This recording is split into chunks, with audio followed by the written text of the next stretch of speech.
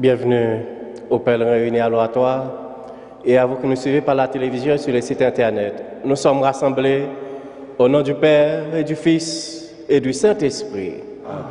Le Seigneur soit avec vous. Et avec votre esprit. La messe est offerte aux intentions de Thérèse du Gabinet et Jean Binet. Nous célébrons aujourd'hui la fête d'Élisabeth de Hongrie, l'une des figures les plus célèbres du Moyen Âge. Devenue veuve à 20 ans avec trois enfants, Élisabeth passa ses trois dernières années à l'hôpital qu'elle avait fondé au service des malades et des moribonds. Reine pauvre et reine des pauvres, elle a mérité d'être appelée la seconde Sainte Claire. Frères et sœurs, nous venons d'horizons différents pour rendre grâce au Seigneur de tout ce qu'il accomplit dans le monde. Commençons par nous laisser réconcilier avec lui et entre nous. Seigneur Jésus, envoyé par le Père pour nous libérer du péché qui divise, prends pitié de nous. Prends pitié de nous. Ô Christ, venu dans le monde pour guérir le cœur des humains, prends pitié de nous. Prends pitié de nous. Seigneur vivant auprès du Père, où tu nous accueilleras tous et toutes un jour, prends pitié de nous. Prends pitié de nous. Que Dieu Tout-Puissant nous fasse miséricorde, qu'il nous pardonne nos péchés, nous conduise à la vie éternelle. Amen. Prions le Seigneur. Dieu qui a donné à Sainte Élisabeth de Hongrie de reconnaître et de vénérer le Christ dans les pauvres, accorde-nous de servir avec une inépuisable charité ceux qui sont dans le besoin et l'affliction. Par Jésus-Christ, ton Fils, notre Seigneur, notre Dieu, qui est avec le Saint-Esprit maintenant et pour les siècles des siècles. Amen.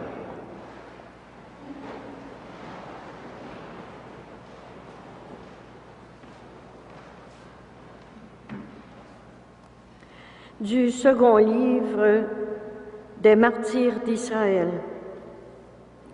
Au temps de la persécution d'Antiochus contre le peuple d'Israël, Éléazar était l'un des scribes les plus éminents. C'était un homme très âgé et de, de très belle allure. On voulut l'obliger à manger du porc en lui ouvrant la bouche de force. Préférant avoir une mort prestigieuse plutôt qu'une vie abjecte, il marchait de son plein gré vers l'instrument du supplice, après avoir recraché cette viande comme on doit le faire quand on a le courage de rejeter ce qui n'est pas permis de manger, même par amour de la vie. Ceux qui étaient chargés de ce repas sacrilège le connaissaient de longue date. Ils le prirent à part et lui conseillèrent de faire apporter des viandes dont l'usage était permis et qu'il aurait préparées lui-même.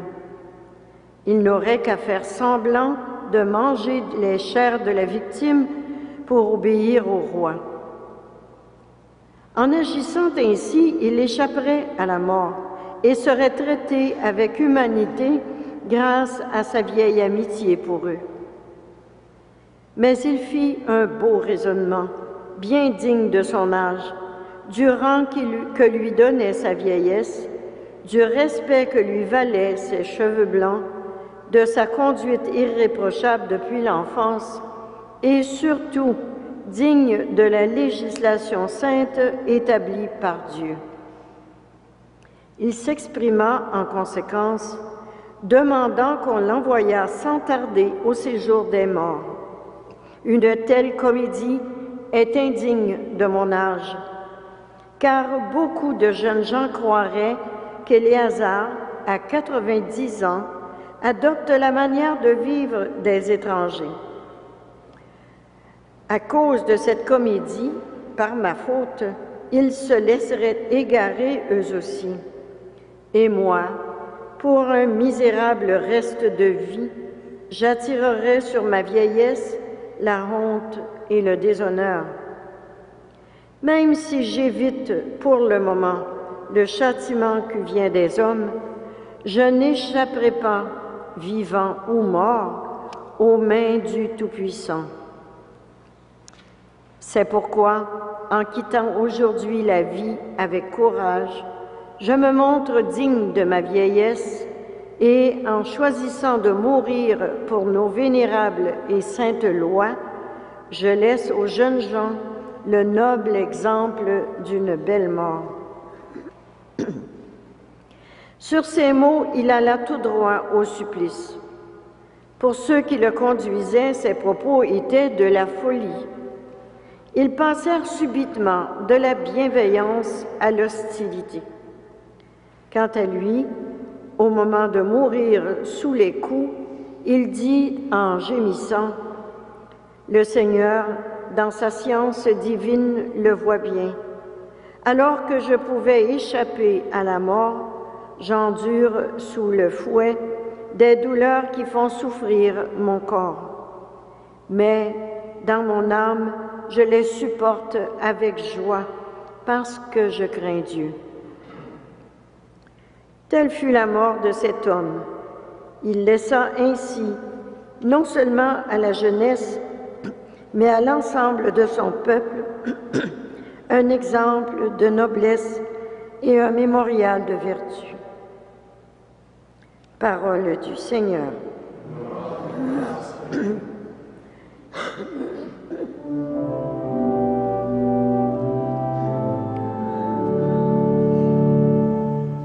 Le Seigneur est mon soutien.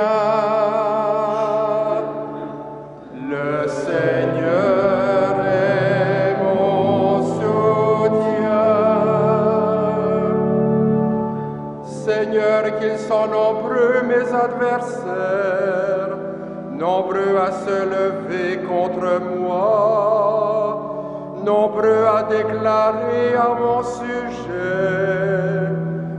lui pas de salut auprès de Dieu. Le Seigneur est mon soutien.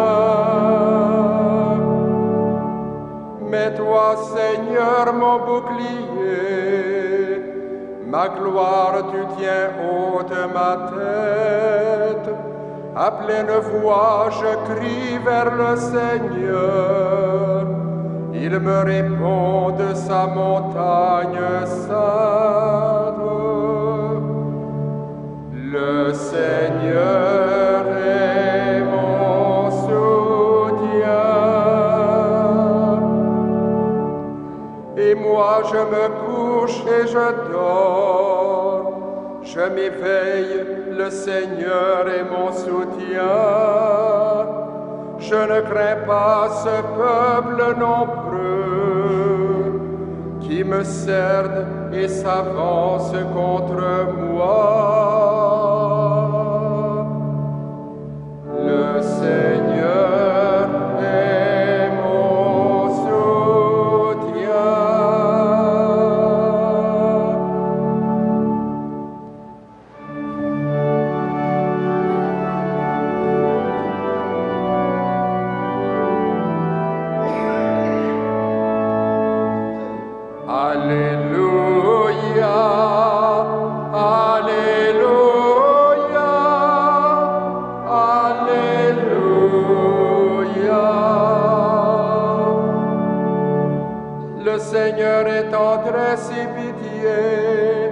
Il n'agit pas envers nous selon nos fautes, il met loin de nous nos péchés.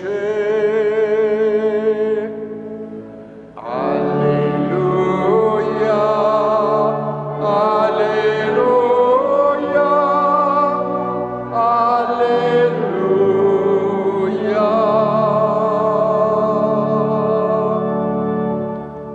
Le Seigneur soit avec vous. Proclamation de la bonne nouvelle de Jésus-Christ selon Saint Luc. Gloire à toi, Seigneur. Jésus traversait la ville de Jéricho. Or, il y avait un homme du nom de Zachée.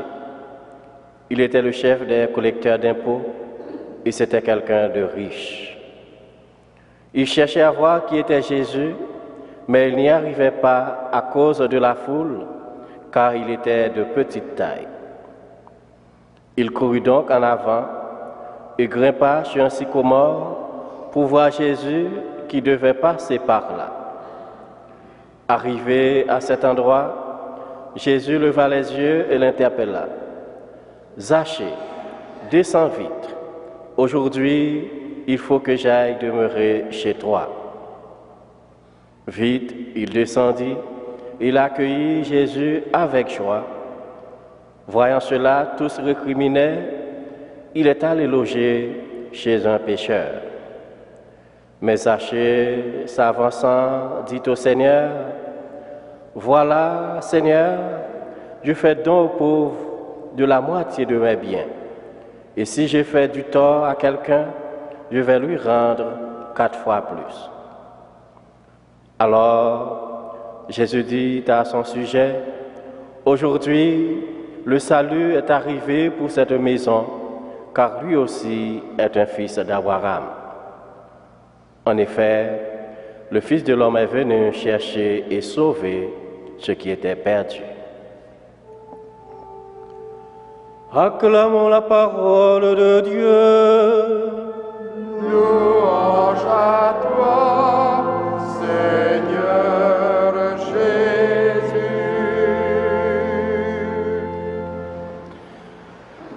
Dans le texte de l'évangile de ce matin,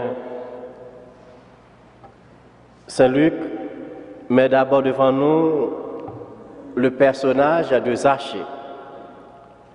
Son histoire, nous la connaissons bien parce que nous l'avons entendue souvent. Nous savons que Zachée exerce un métier qui le fait haïr de ses frères juifs. Au milieu des soucis de son métier, fatigué du mépris des autres, il cherche à voir qui est Jésus. Dans son arbre tout essoufflé, il attend, il espère. Et voilà que le Christ s'adresse à lui et lui répond au-delà de ce qu'il attendait. Zachée, descends vite. Aujourd'hui, il faut que j'aille demeurer chez toi. Frères et sœurs bien-aimés, il ne faut pas grand-chose pour que Jésus s'invite chez nous. Il lui suffit de voir qu'il est attendu. Il lui suffit de rencontrer notre regard et d'y lire au cœur de nos efforts, même maladroits, notre désir de l'accueillir. Ce qui importe, jour après jour, Esaché l'avait bien saisi ce jour-là, c'est d'accueillir Jésus avec joie. Oui, celui qui accueille Dieu dans sa vie, celui-là connaît la vraie joie. Joyeuse de tout ce qu'elle devait endurer, Sainte Élisabeth de Hongrie, dont nous faisons mémoire aujourd'hui, disait, je ne veux pas faire peur à Dieu par une mine sinistre. Ne préfère-t-il pas me voir joyeuse, puisque je l'aime et qu'il m'aime Jésus ne rejette personne de son amour. Il vient nous visiter tous, toutes, sans exception. Il veut être reçu partout, et par tous.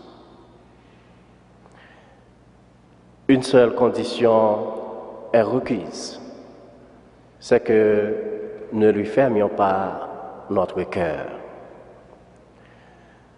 Cette bonne nouvelle nous est adressée, frères et sœurs, pour que nous nous laissions toucher, réconforter et transformer chacun, chacune là où nous sommes, tel que nous sommes, par celui qui vit au milieu de nous et qui vient partager notre quotidien. À l'instar de Zachée, qui, accueillant l'invitation de Jésus, s'engage à changer de vie et à corriger le tort qu'il a fait aux autres. Demandons au Seigneur de nous redonner la joie, la joie de nous ouvrir à Dieu et à nos frères. Qu'il nous donne d'imiter sa miséricorde et nous rende capables de communiquer autour de nous la joie d'être sauvés. Amen.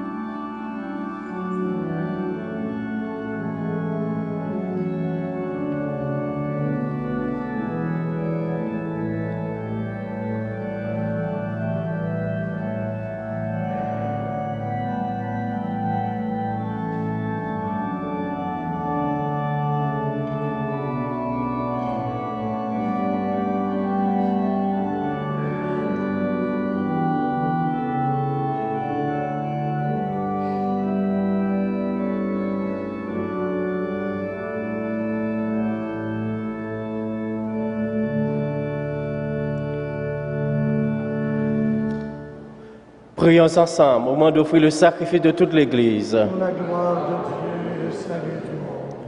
Accueille, Seigneur, les présents de ton peuple, et tandis que nous rappelons l'amour infini de ton Fils, fais que nous sachions, à l'exemple des saints, t'aimer et aimer notre prochain d'un cœur plus généreux.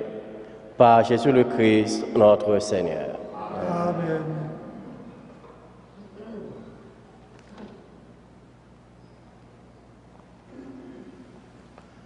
Le Seigneur soit avec vous.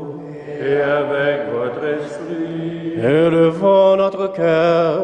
nous le tournons vers le Seigneur. Rendons grâce au Seigneur notre Dieu. Cela est juste et bon. Vraiment, il est juste et bon de te rendre gloire, de t'offrir notre action de grâce toujours en tout lieu. À toi, Père très saint, Dieu éternel et tout-puissant. Nous célébrons les prévenances de ton amour pour tant d'hommes et de femmes parvenus à la sainteté en se donnant au Christ à cause du royaume des cieux. Par ce mystère d'alliance, tu veux que notre condition humaine retrouve sa splendeur première et que dès ici-bas, nous ayons un avant-goût des biens que tu nous donneras dans le monde à venir. C'est pourquoi avec les anges et tous les saints, nous chantons et proclamons.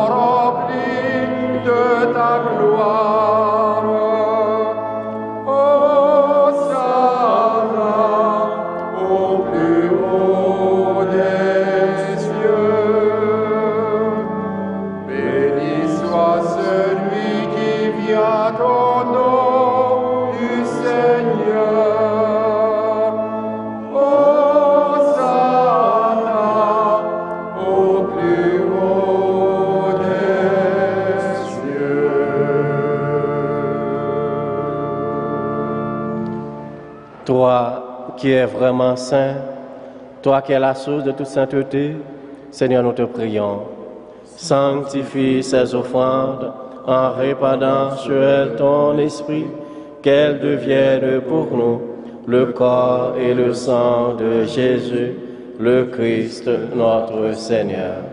Au moment d'être livré et d'entrer librement dans sa passion, il prit le pain, il rendit grâce, il le rompit et le donna à ses disciples en disant, Prenez et mangez-en tous, ceci est mon corps livré pour vous.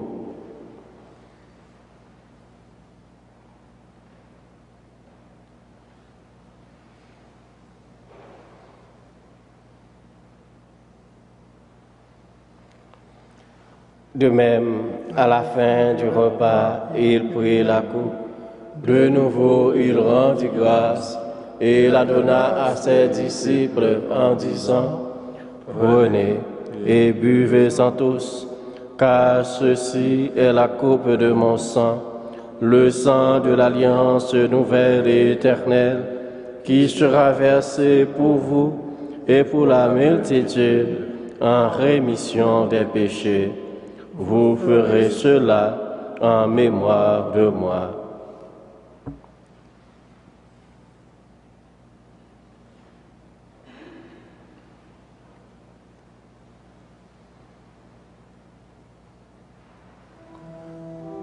Et le grand le mystère de la foi.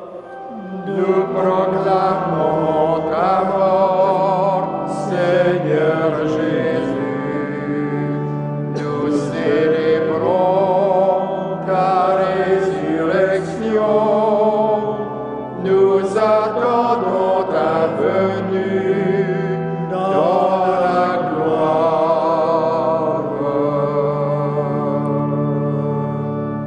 Faisant ici mémoire de la mort et de la résurrection de ton Fils, nous t'offrons, Seigneur, le pain de la vie et la coupe du salut. Et nous te rendons grâce, car tu nous as choisis pour servir en ta présence. Humblement, nous te demandons qu'en ayant part au corps et au sang du Christ, nous soyons rassemblés par l'Esprit Saint en un seul corps. Souviens-toi, Seigneur, de ton Église répandue à travers le monde.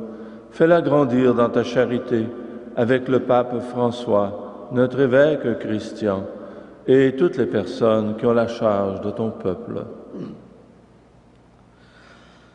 Souviens-toi aussi de nos frères et de nos sœurs qui se sont endormis dans l'espérance de la résurrection.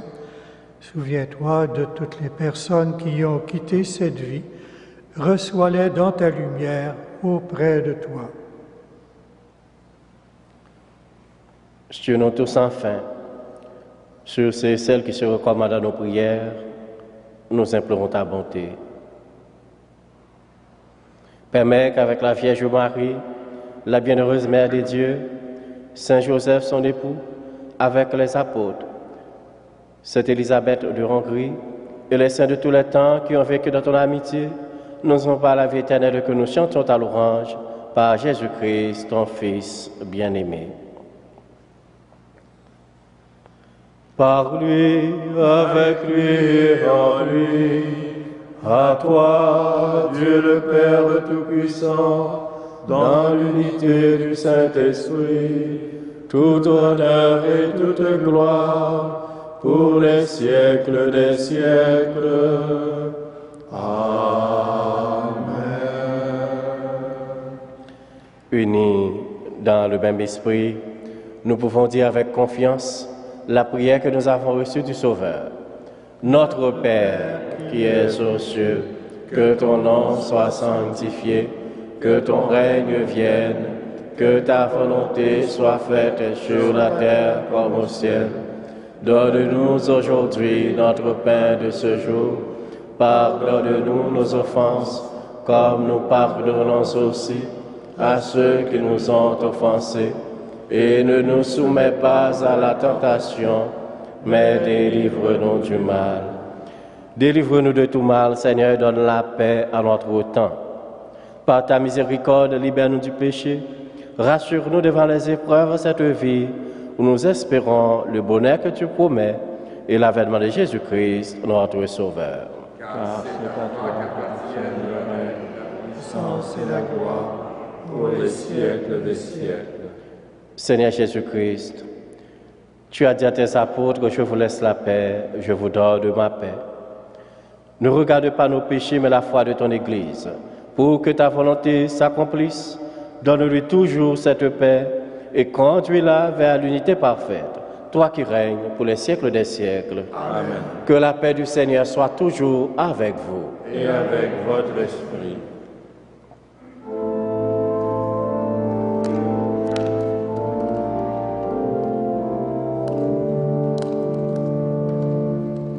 Agneau de Dieu qui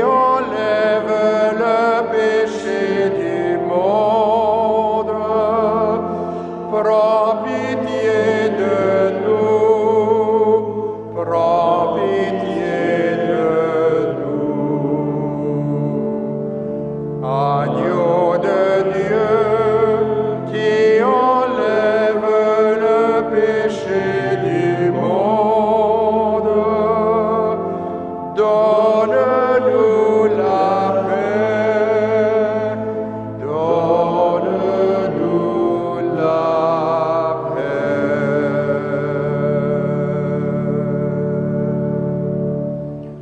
Heureuse, heureux les invités au repas du Seigneur.